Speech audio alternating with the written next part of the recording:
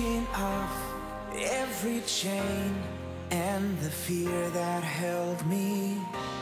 I refuse to agree with the lies they told me. I take up my position, speak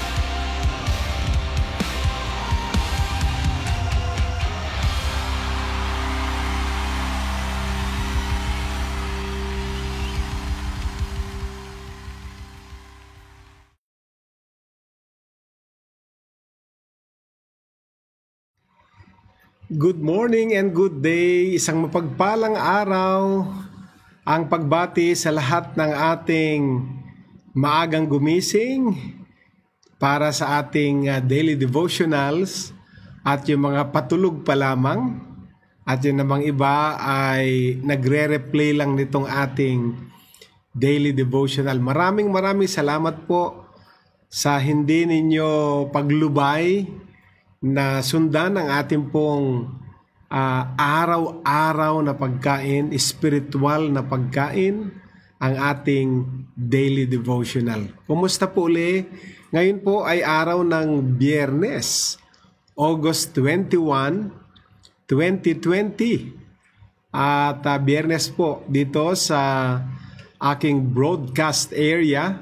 Andito po ako ngayon sa Hong Kong. Ito mismo sa ating church venue. At uh, dito muna ginagawa uli ang uh, ating daily broadcast ng daily devotionals, Hope Hour, at ang ating mga midweek and Sunday services. So, ako po'y naniniwala na kagabi sa ating uh, midweek service, online midweek service ay pinagpala na ang lahat. At ngayon naman ay panibagong biyaya ang ating tatanggapin na inihanda ng Diyos para sa ating lahat. Ako po si Bishop Rene Alog at uh, muli ako po ang magdadala ng mensahe ng Panginoon ngayong araw na ito. Bago ko po simulan, samahan niyo po ako sa panalangin. Let us pray. O our God in heaven, maraming maraming salamat po sa inyo pong uh, biyaya na inilalaan para sa inyong mga anak. We know for sure na all the blessings from from on high are good at uh, amin pong uh, tatanggapin ito na may maluwag sa puso at kami po ay nakakasiguro ng mga biyaya galing sa inyo ay biyaya ng kalakasan, biyaya ng pagtatagumpay, biyaya ng kagalingan, biyaya ng proteksyon, biyaya ng probisyon sa aming lahat. At nananalangin kami aming Diyos na kayo po ang siyang magpala sa aming lahat sa araw na ito. Habang tinatanggap namin ang iyong salita, tinatanggap din namin ang biyaya na inilaan mo para sa amin. Salamat po at patuloy na patnubay ang ibigay mo sa amin na maunawaan namin ang lahat ng mga spiritual na bagay. Patuloy namin dinadalangin kung sino man po ang may mga sakit karamdaman na miyembro ng aming pamilya, ang aming mga mahal sa buhay. Patuloy na igawad mo ang iyong kagalingan, ang iyong pagpapagaling sa bawat sa sa kanila. At ang iyong uh, proteksyon, ang iyong covering ay sumaming lahat na walang sakit na dadapo sa amin, walang mga bagay na makasisira sa aming mga pisikal na katawan dahil inilaan din namin ang aming katawang ito para maglingkod sa iyo. Purihin ka at sambahin ka sa mga ipapahayag mo ngayon sa pangalan mo Jesus. Amen and Amen. Purihin ang Diyos na buhay.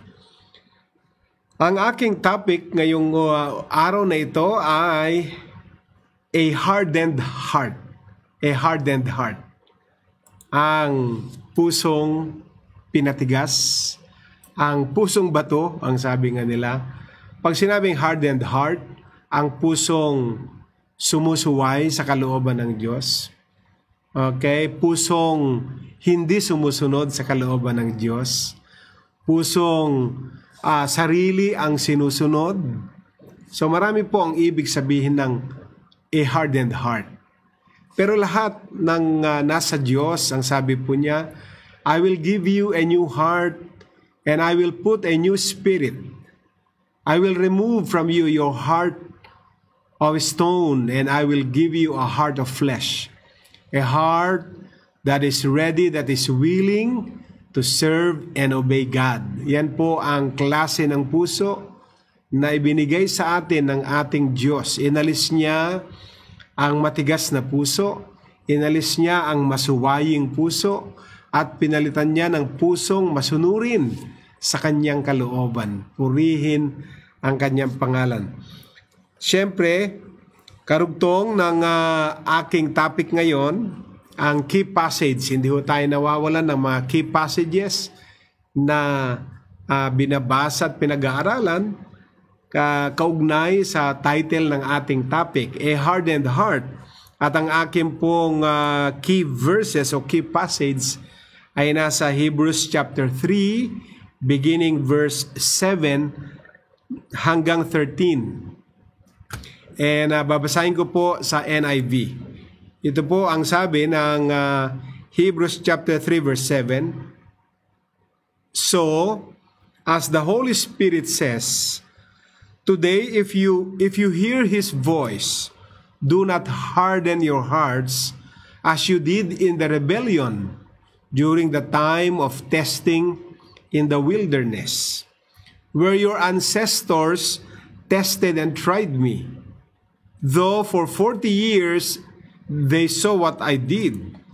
This is why I was angry with that generation. I said, Their hearts are always going astray, and they have not known my ways. Let's go now to verse uh, 11. At ang sabi sa 11, So I declared on oath, in my anger, they shall never enter my rest. See to it, brothers and sisters, that none of you has a sinful, unbelieving heart that turns away from the living God. Verse 13.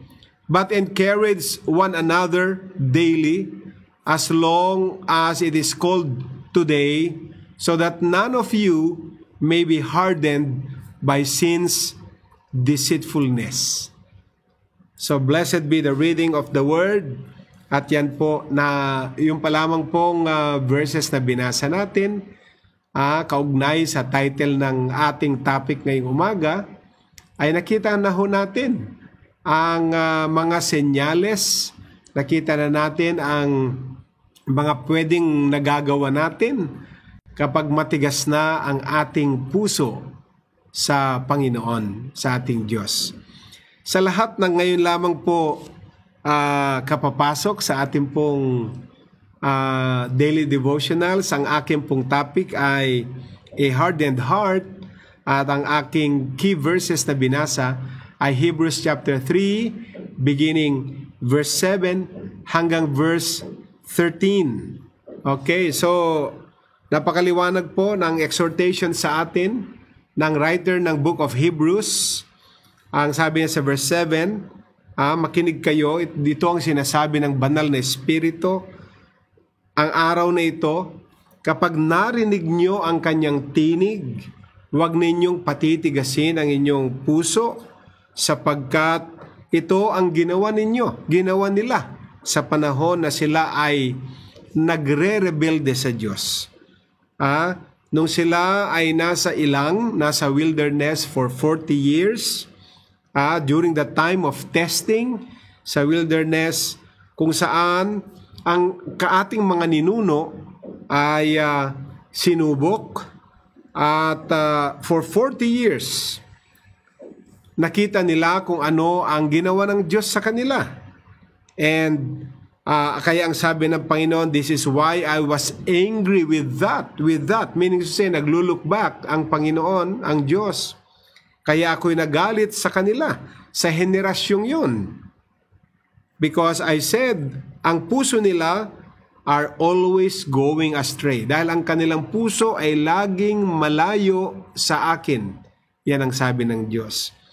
And they have not known my ways. Automatic po yan. Pag malayo na po ang puso natin sa Diyos, hindi na rin natin natin nagagawa ang mga kalooban ng Diyos. Siyempre, malayo ng puso mo sa Diyos. Alangan naman ng nagagawa mo ay kalooban pa ng Diyos. Automatic yan. Pag manalayo na tayo sa Diyos, ang nagagawa natin ay labas na sa kalooban ng Diyos. Kaya ang sabi ng Panginoon, So I declared on oath in my anger. At sa aking galit, aking galit, sabi niya, ako'y nanumpa. They shall never enter my rest. Ibig sabihin, pinapaliwanag po rito, walang nakapasok sa kanaan, sa promised land na lumabas sa Ehipto. Ang nakapasok lang ay new generation. Dahil ang generation na lumabas sa Egypt ay generation ng uh, mapag-complain, mapagreklamong mga klase ng tao, uh, henerasyon ng tao na ang puso ay malayo sa Diyos, okay, henerasyon na ang nagagawa nila ay ang kanilang sariling, sariling kalooban, Kaya yun lamang mga ipinanganak sa, sa disyerto ang pinayagang makapasok sa promised land. Okay, not even uh, Moses ay hindi siya nakapasok bagkos ipinatanaw na lang ng Diyos sa kanya mula sa isang distansya, hindi na niya nakita o naranasang makapasok sa pangako na lupa na inheritance ng bayang Israel. So hindi sila nakapasok, they shall never enter my rest.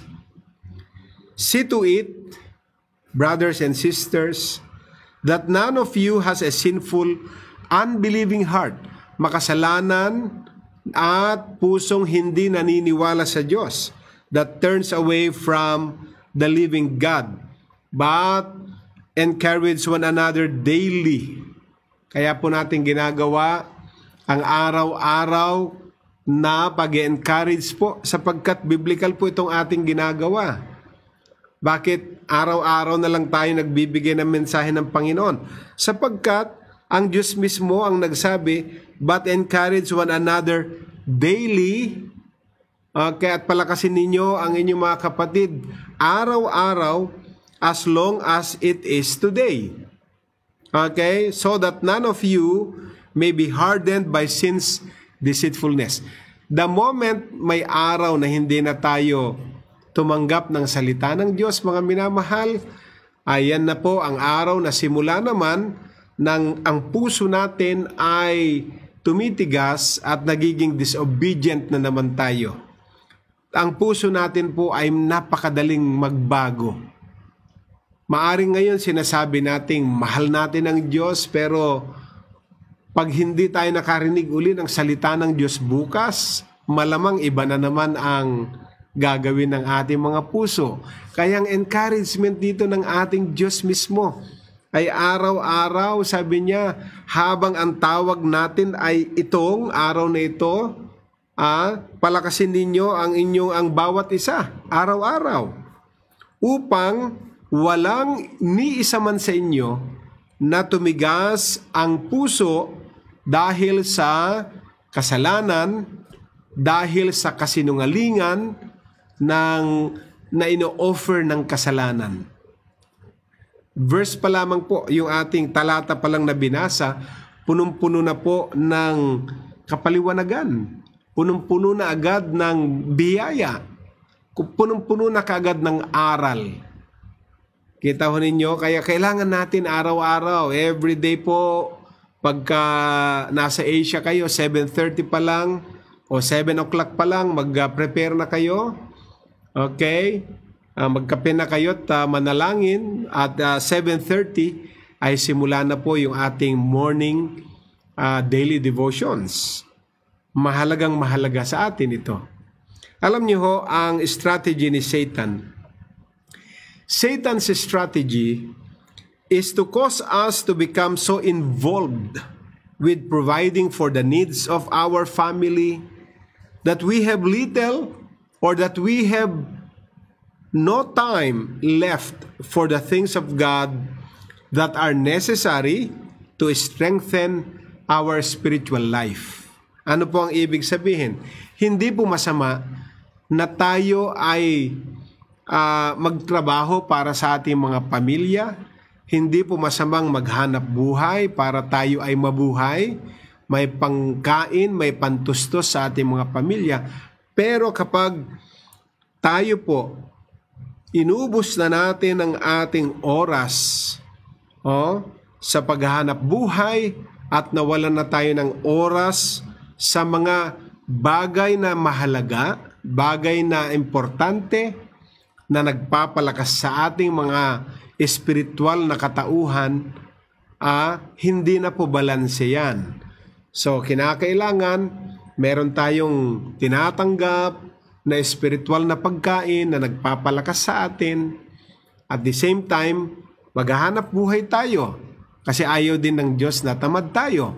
So maghahanap buhay tayo para sa uh, para may pambuhay tayo, pantustos sa pangangailangan ng ating mga pamilya. So, the only true foundation for house your life is to build on the solid rock. Okay? Sa lahat ng tunay na pundasyon ng ating tahanan, okay, ng ating buhay. Kasi ang tahanan diyan ay pwedeng yung literal nating uh, pamilya o yung house diyan na tinutukoy ko ay yung mismong buhay natin. Amen? Kinakailangan ang pundasyon natin ay isang firm foundation at yan ay nakatayo sa solid rock, sa matibay na bato, at sino po ang tinutukoy ko? Ang Panginoong Heso Kristo. Many Christians feel that a hardened heart could even happen to them. Opo, pwede po. Hindi lamang po itong hardened heart na aking tinutukoy ay para sa mga non-believers. Marami din po akong alam na mga kristyanong naturingan pero matigas na ang puso sa Panginoon sapagkat pinalitan nila ang mga spiritual na bagay na mga karnal na bagay, pinalitan nila ang mga spiritual na bagay sa mga uh, makamundong bagay. Kaya ang nangyari sa mga Kristiyano na supposed to be ang kanilang puso ay para sa Panginoon lang, ay tumigas din ang kanilang mga puso. Pwede pong mangyari yon. A hardened heart does not hearken to the will of God and is closed to the Holy Spirit. Pag sinabing matigas na puso, nais lang nating bigyan ng, uh, ng picture itong hardened heart. Pag sinabing hardened heart, ay isang tao na hindi na nakikinig sa Diyos, isang tao na hindi na sumusunod sa kalooban ng Diyos, ang isang taong sarado na sa pangungusap ng banal na espiritu. Wala na sa kanyang panalangin araw-araw yung mga salitang banal na espiritu, kausapin mo ako, ipahayag mo ang kalooban ng ama at ng anak sa akin. Wala nang ganyang laman ang kanilang mga panalangin. Baka actually wala na silang oras manalangin. Yun po ay mas malaking problema. Pag wala na tayong oras manalangin, wala na tayong panahon para mapakinggan ang Diyos. Pag hindi natin napapakinggan ang Diyos, malamang wala na rin tayo sa kalooban ng Diyos. Pag wala na tayo sa kalooban ng Diyos, malamang matigas ng ating mga puso. As simple as that. Ano pa? A hardened heart cannot be penetrated by the love and grace of God. Pag matigas na po ang puso, eh hindi na po makakapag-penetrate ang ang pag-ibig ng Diyos, hindi na naman natin uh, nararamdaman ang pag-ibig ng Diyos sa atin. Parang uh, very casual na uli yung ating relasyon sa Kanya. Uh, at hindi na natin na-appreciate yung uh, grace ng Diyos na ibinigay sa atin. What else? A hardened heart feels no compassion for the lost and thinks only of selfish things. Paano natin ilalarawan ang isang matigas na puso? Ang matigas na puso ay wala ng burden para sa mga ligaw na kaluluwa uli. Wala ng evangelism, wala ng sharing the gospel to others, wala ka ng pagpapakita ng testimony mo sa ibang hindi pa mananampalataya. Wala ka ng inisip kundi ang mga bagay na pang sarili na lang uli. Madali pong makita ang isang pusong matigas. Okay? So ano pong gagawin natin to avoid a hardened heart? Ano pong mga hakbang ang dapat natin gawin upang uh, hindi tumigas ang ating mga puso at ma-avoid, ma-prevent natin? Christians like you and like me must understand what the Bible teaches that causes such condition. Babalik lang tayo sa Biblia at doon malalaman natin, maintindihan natin kung ano ang itinuturo ng Biblia na mga kadahilanan, ah, mga rason kung bakit ang tao ay nakakarating sa ganong klaseng kondisyon ng kanilang spiritual life. Anong kondisyon? yung matigas na naman ang kanilang puso. Kaya babalik po tayo sa ating pinag-uusapan. Uh, magbibigay uh, ako ng uh, isang verse, no? Hebrews 3.13. Hebrews 3 verse 13. Ano pong sabi niya? But exhort one another daily while it is called today, lest any of you be hardened through the deceitfulness of sin. Hebrews 3.13 Okay? Exhort one another daily. Palakasin natin ang bawat isa araw-araw habang tinatawag na ito ay today as in ito yung araw. Dahil kapag hindi natin ginawa, titigas ang ating puso dahil sa pandaraya ng kasalanan because of the deceitfulness of sin. Many Christians today, okay, maraming Kristiyano sa panahong ito are in the process of hardening their hearts through sin, through unbelief. Therefore, they are unable to see the fulfillment of God's covenant promises in their lives. Totoo po itong uh, sitwasyon ng maraming Kristiyano sa panahong ito. Maraming Kristiyano na sa panahong ito ay nasa proseso na ng pagtigas ng kanilang mga puso sa pamagitan ng kasalanan at sa pamagitan ng unbelief, ang hindi paniniwala. Dati naniniwala naman na tayo, tapos uh, nag-aalinlangan na naman tayo sa pwedeng gawin at kakayanan ng Diyos na gumawa.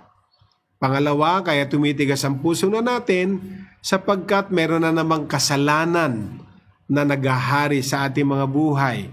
Dati namumuhi tayo sa kasalanan, galit tayo sa kasalanan. Ngayon, ang kasalanan ay bahagi na naman ng buhay natin. Ang unbelief ay kasama na uli sa buhay natin. Kaya marami sa atin hindi na natin nakikita ang ang ka ang fulfillment, ang katuparan. Yan, ang katuparan ng mga covenant promises ng Diyos sa ating mga buhay. E ang prayers ko po, personally, Lord, makita ko po ang mga katuparan ng mga covenant uh, promises mo sa akin na binigay mo pa sa aking mga ninuno, na binigay mo pa mula sa aking si amang si Abraham, na mamanahin ko bilang apo ni Abraham, bilang descendant ni Abraham. Makikita ng aking mata ang fulfillment ng lahat ng mga covenant promises mo. Kaya lang hindi natin nga makikita kapag naghari na uli ang kasalanan, kapag naghari na uli ang unbelief sa ating mga puso.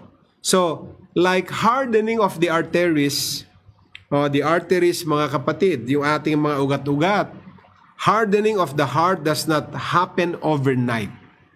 Wala naman pong tumigas ang puso na ngayon, uh, ngayong gabing ito, ngayong araw na ito ay uh, nagbabasa ng Biblia, nagwa-worship, at bukas ay matigas na agad ang puso niya. Wala na pang pong ganon. No?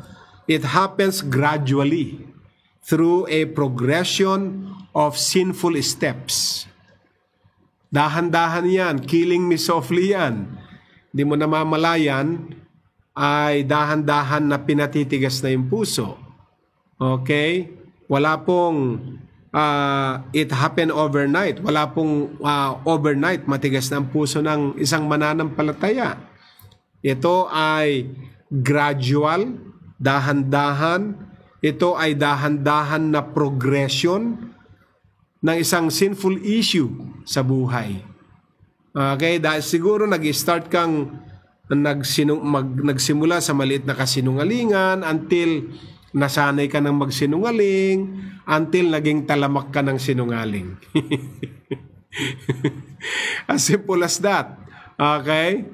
Ah, isang uh, bagay na maliit na kasalanan, nilaro natin, tapos lumaki ng konti until overcome na tayo. Ibig sabihin nun, mas malaki na yung kasalanan kaysa tayo na hindi na natin kayang pagtagumpayan.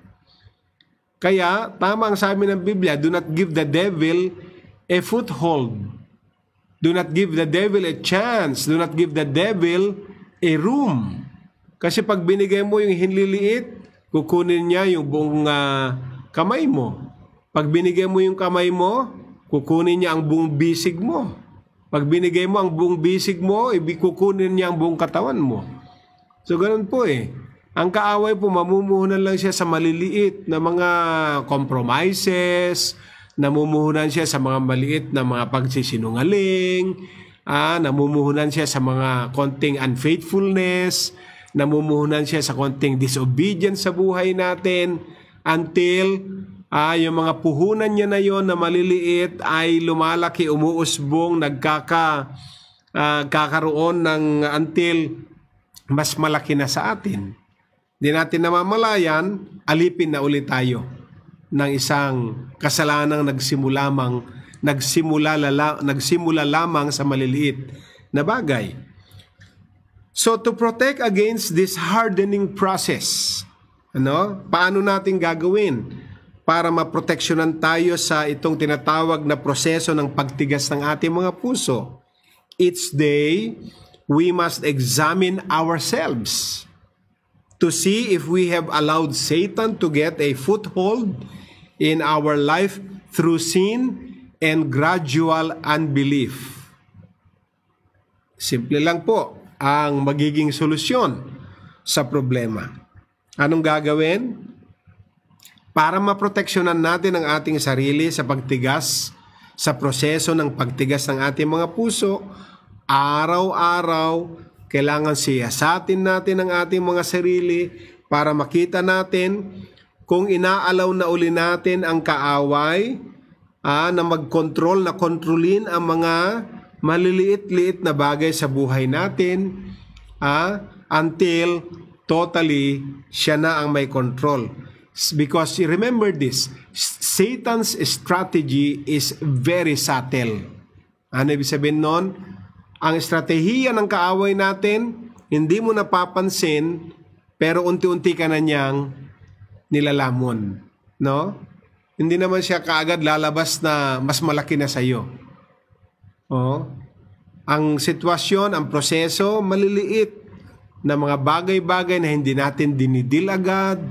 Yung tampo na yan, hindi mo kaagad dinil until naging uh, tampo, galit, puot, until yung puot na yan ay nagiging dahilan na para masira ka na.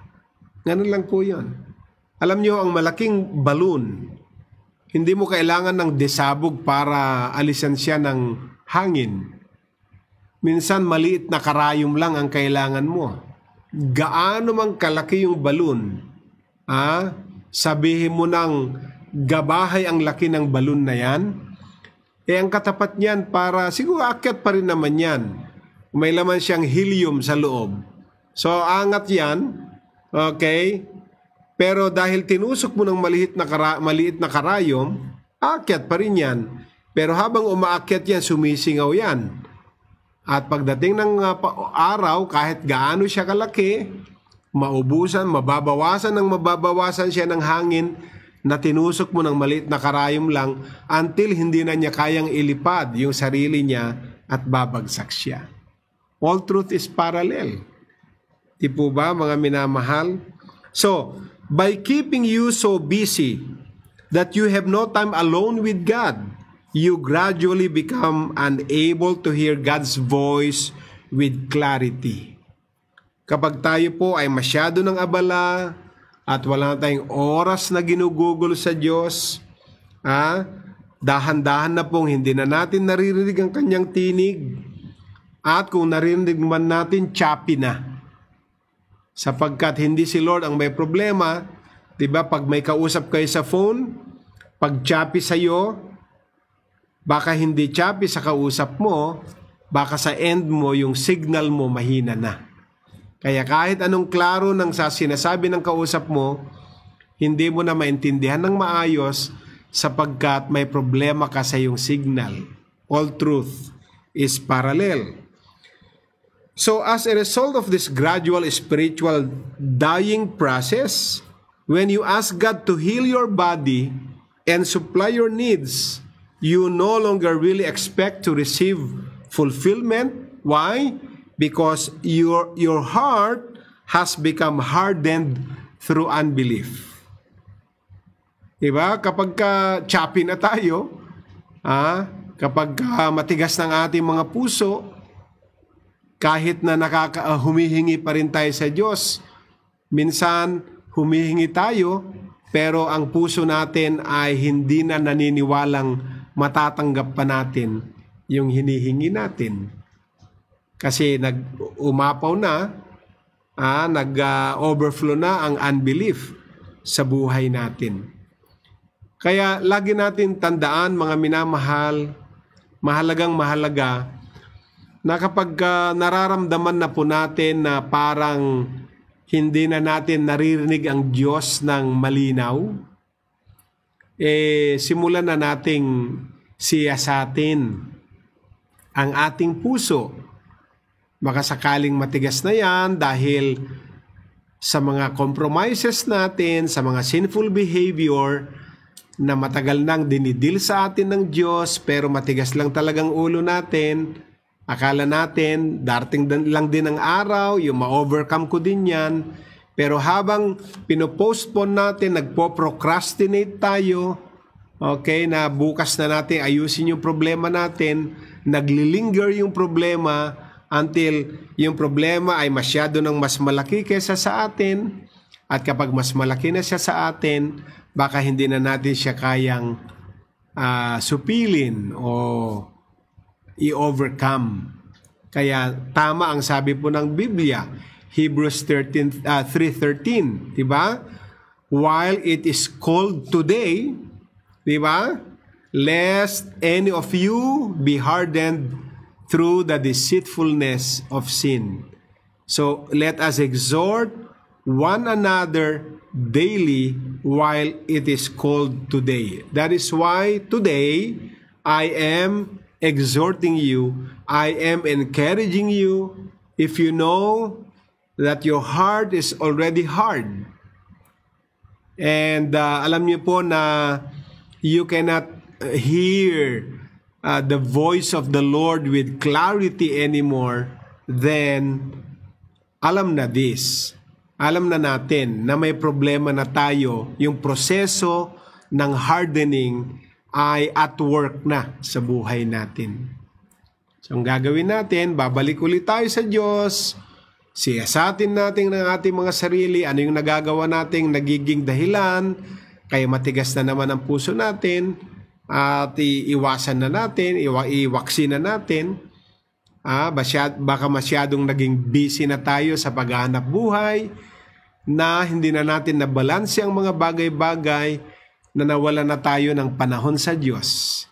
Wala na tayong panahon manalangin. Wala na tayong panahon mag-meditate ng Word of God. Meron naman tayong daily devotional. Pero hindi na nating sinasadya. Hindi na on purpose yung ating pakikinig. At kung makita man, eh, pag-scan mo, dumaan ka man sa daily devotional, 3 seconds lang, 5 seconds, parang ayaw mo na. Hindi mo ninanamnam ang nais ipaabot sa iyo ng Diyos. Samantalang marami siyang gustong uh, ipaabot sa atin, mga minamahal. So, yan po ang mga iba't ibang mga bagay na dapat nating uh, siya sa atin sa ating mga puso upang hindi masayang yung ating mga pagpapagal. Amen? Okay. So ngayon po ay uh, hindi tayo natatapos na hindi tayo nagkakaroon ng declaration. Samahan niyo po ako sa declaration na ito. Sabihin natin, My heart will not be hardened through unbelief. I will hear God's voice with clarity, recognize it, and act upon what He says. One more time. My heart will not be hardened through unbelief. I will hear God's voice with clarity, recognize it, and act upon what He says. Amen and Amen. So yan po ang ating declaration. Yan na po ang ating ipinahayag sa Diyos ng aking puso ay hindi ko napapayagang tumigas sa mapagitan ng kasalanan at unbelief mula ngayon pakikinggan ko ang tinig ng Diyos ah, na may clarity at kikilalanin ko ang kanyang tinig at gagawin ko kung ano ang ipinagagawa ng kanyang tinig sa akin. Praise the name of Jesus. Amen. So, yan po ang ating uh, devotional for today at kung na-miss nyo ang iba't ibang mga devotional sa mga nakarang mga araw, just go to YouTube. Ang ating YouTube channel ay JLG TV at makikita nyo po lahat ang lahat ng ating daily devotionals mula pa nung uh, kailan ba tayo nagsimula? March 15 hanggang ngayon. Kaya wala kayong mamimiss na mga mga katuruan, mga minamahal. So, mamaya alauna media, balik tayo. Magpapaalam na ako sandali. 1.30 meron tayong uh, Hope Hour. At uh, biyernes naman ngayon. So, wala pa din pong uh, activity ang uh, Hebrews dahil one week po sila. Uh, Magre-resume po ang lahat ng evening activities ng uh, Zero Gravity sa darting na lunes. So, papaalam na po ako. Ito po si Bishop Rene Alog at uh, nagpapaalam pansamantala. Shalom!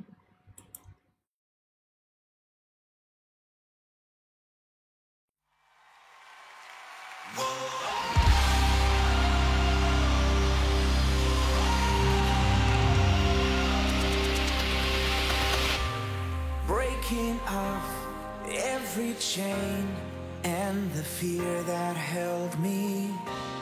I refuse to agree with the lies they told me. I take up my position, speak